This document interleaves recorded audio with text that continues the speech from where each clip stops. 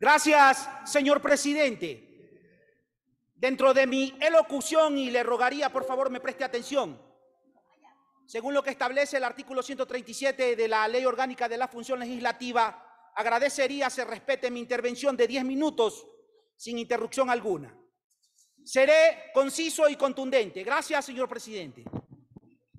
Colegas asambleístas, conciudadanos todos, el poder de la justicia radica en su independencia y absoluta imparcialidad para ejercer sus actuaciones enmarcadas dentro del debido proceso que establece el derecho. Ecuador es una república y por lo tanto tenemos que exigir que se cumpla la ley. Veremos al final de este proceso político quién realmente pone en venta su conciencia y quién vela por la patria. No defendemos jueces, defendemos la institucionalidad. Es momento de una justicia para todos. Basta de una justicia secuestrada por los intereses de unos pocos insensatos y extorsionadores de la verdad. Señor Murillo, sí, usted, usted con absoluta arrogancia y sobrada actitud, miente, miente como respira. Es falso, absolutamente falso que en el Consejo de la Judicatura, presidido por el doctor Yal, se nombraban jueces aplicando una entrevista con una puntuación subjetiva de 10 puntos. Al contrario, fue ese Consejo de la Judicatura que eliminó esa puntuación. Sí, dicha entrevista prevista en el Código Orgánico de la Función Judicial como falsamente, como lo realiza, y estaba establecido en la ley, pero sin puntuación, como falsamente ha dicho usted, mintiendo descaradamente. No existe. No le mienta al país. No existe ningún examen definitivo de Contraloría que determine algún nombramiento irregular. Lo dicho infundadamente en algún informe borrador de Contraloría fue desvirtuado con pruebas. Y no hay un solo informe final que determine la responsabilidad, ni siquiera administrativa, en el Pleno del Consejo de la Judicatura presidido por el doctor Yal. Por el contrario, en el caso que nos ocupa, sí, en este juicio político tenemos una sentencia de la Corte Constitucional que determina las irregularidades de la evaluación, que significan la separación inconstitucional de los jueces de la Corte Nacional. Nunca, nunca antes en mi país, mi país ha sufrido un episodio tan decadente y crítico de su poder judicial como el de ahora.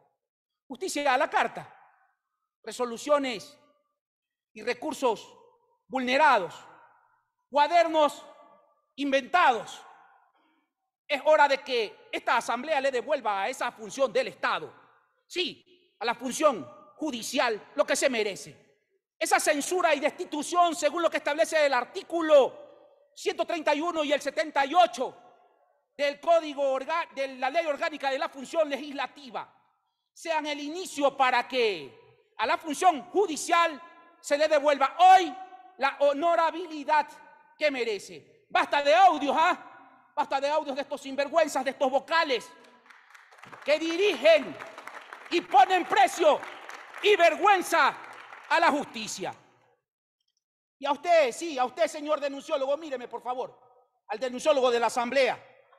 Sí, a usted, sin reservas, sin reservas a usted. A usted asambleísta, sáquese ya su careta de algo así. Y aunque la bajeza moral ya lo identifica por a usted, al punto... miembro de la bancada móvil, y que dentro de su errada subjetividad no me de lanzar lodo con ventiladores y luego esconder la mano, dejémonos de ridiculeces, porque usted nos insulta, nos calumnia constantemente. Nosotros no somos amigos suyos, ni pretendemos serlos. No actúe, actúe con objetividad y coherencia. No actúe con viveza criolla. Y si tiene las evidencias necesarias, acuda a la fiscalía.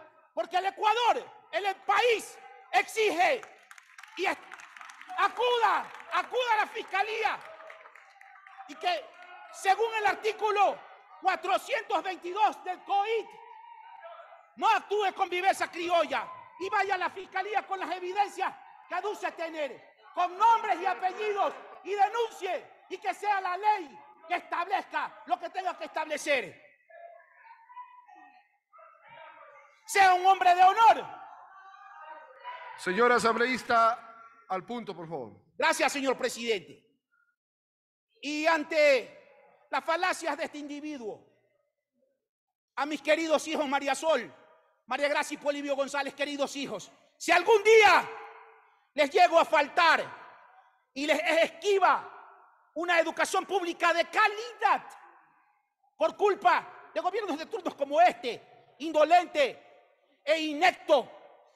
Queridos hijos, por favor, trabajen, ahorren e inviertan en una educación de excelencia para que no sean productos profesionales análogos, mediocres, como los que emiten instituciones de quinta, como la Universidad Cooperativa de Colombia, que arroja individuos de conductas mediocres. No, no, hijos míos, hacia allá jamás. Para que no sean como ellos. El Ecuador, mi país, sí, no merece Señores asambleístas, por, favor, guardar la compostura. Respeto, señor presidente. El Ecuador no merece personajes profesionales ni legisladores de insultos, calumnias e incoherencias. Necesitamos se resuelvan urgencias. Señores asambleístas. Educación, salud y que se reactive el sector de la agricultura.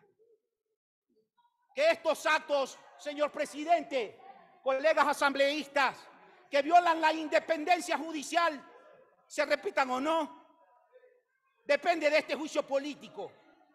O la Asamblea Nacional sienta un precedente el día de hoy para beneficio de los usuarios del sistema de justicia, de la ciudadanía y del Estado de Derecho, o premia a quienes han violado la independencia judicial dándoles potestad para que no sigan haciendo y destruyendo las instituciones del país. Este gobierno y sus extorsionadores de la verdad nos quieren, nos quieren ignorantes, nos quieren neófitos, nos quieren mudos. Mi país no puede ni jamás va a sucumbir a la ambición de piratas, bucaneros de la historia y asesinos de la justicia. Por mi provincia, por mi familia y por mi